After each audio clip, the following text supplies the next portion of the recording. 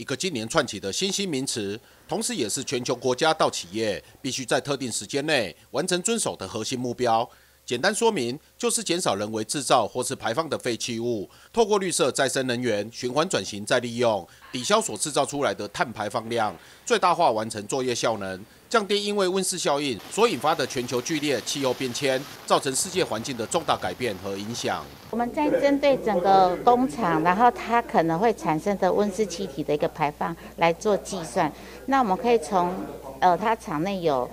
直接这个排放，我举例好了，例如说它可能有使用柴油发电机，那它有用到柴油，那我们要算出它二氧化碳的排放量是多少。那餐厅它有使用到天然气，那就要去计算天然气它的排放量是多少。有新的政策，不管是呃对地方或者是对整个我们的环境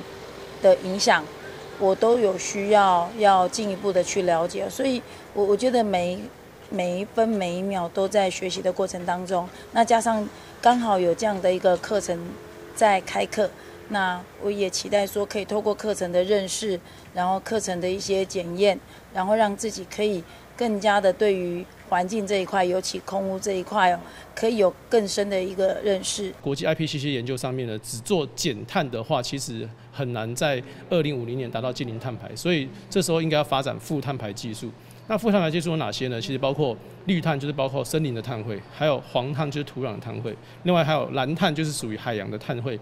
所以高雄是一个海洋城市、海洋首都，非常有这样的前瞻性跟远景，可以来发展海洋蓝碳，才有办法达到负碳排，走向近邻城市的目标。为了达到二零五零年全球近零碳排目标，也为了加速提升企业在国际上的竞争。台湾从中央到地方无一不动了起来。一百一十二年八月成立台湾碳学交易所，紧接着在十一月初首创实体化近邻学院，陆续启动安排相关课程，让厂官学各界精英交流讨论，培植近邻人才，对服务岛服务高雄传统产业转型也将会有莫大的帮助。我们也都要去呃各个的演讲，还有一些上课也都需要去收集一些资料。其实我们也对自己也有做简单的评估。那因为我们是属于通路，还有还呃没有用到重电，我们算间接第二阶段会比较影响的产业。那当然我们也有出口，也有三角贸易。那如果如果有出口到欧美的部分，也会对我们蛮大影响。也是希望从整个产业链，那钢厂然后来带头，然后政府也给我们一些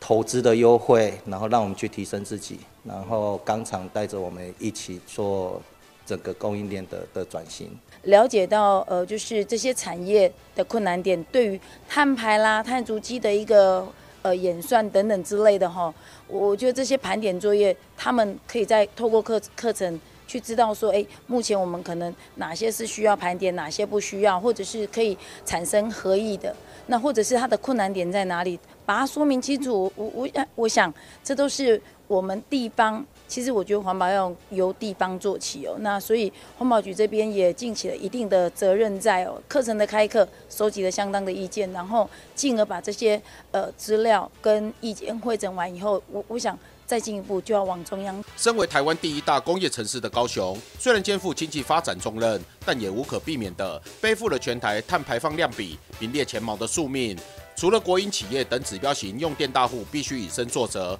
发挥影响力外，进而将能源和产业转型以大带小分享减碳技术给中下游厂，让中小型企业有正确方向来依归，让减碳脚步齐肩并行，共同面对国际市场新形态近零碳排的挑战。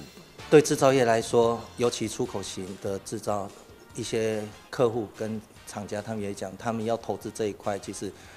也是焦头烂额，莫了一些啦，因为因为他们对他们的成本负担会很大，所以其实一般在评估，然后一边在评估，然后一边又呃要下很大的决心去做一些投资，这一块都还在两难。都还在两难的困境，但希望政府带头，然后呃，针对各个产业的龙头企业，然后由他们来制制定一些标准，让大家有所依循。进行各项的这个呃碳汇或者碳权的取得，都会有成本的问题。但是呢，其实台湾是一个出口贸易的国家，许多呃工业，包括比如说高雄很著名的螺丝业，必须把这些产品外销到欧美的时候，那欧洲。C band 他们就会课相关的碳税。那这些都是所有的企业必须面临的课题。那企业不知道是说，那它的减碳措施、它的固碳的方法到底符不符合国际的标准跟要求，这是企业不知道的事情。所以政府可以在这上面来协助企业进行碳盘查，未来呢跟国际碳权的交易进行接轨，才有办法让产品销到全世界。很多产业其实在这个在现阶段，对于碳排、碳足迹或者是碳汇等等之类的，它其实还有很多模糊的呃地带，因为。连国际组织他们现在还在摸索当中，其实这可能还要再走一段时间。那我我想，高雄市既然已经有第一步，就是第一第一个那个自治条例的成立哦，那有需要也有必要在借由课程的一个。呃，活动过程当中，其实可以跟各个厂商业者，不管是食品或石化或钢铁，其实可以透过课课程去收集一些意见。钢铁业者指出，有些仰赖进口贸易的国家，虽然目前还看不到对所进商品碳排标准的行政要求，但也总是要有备无患，依照政府标准来循序渐进。另外，国际贪关税也将逐步加强实施审查。业者期盼政府在规划应应政策面上，应该强化民间业界宣导，提供必要性的转型协助，提前布局，让台湾产业的软硬实力不止在国际间发光发热，也是这场近邻碳排竞赛中夺得领先优胜的关键。记者李佳龙高雄报道。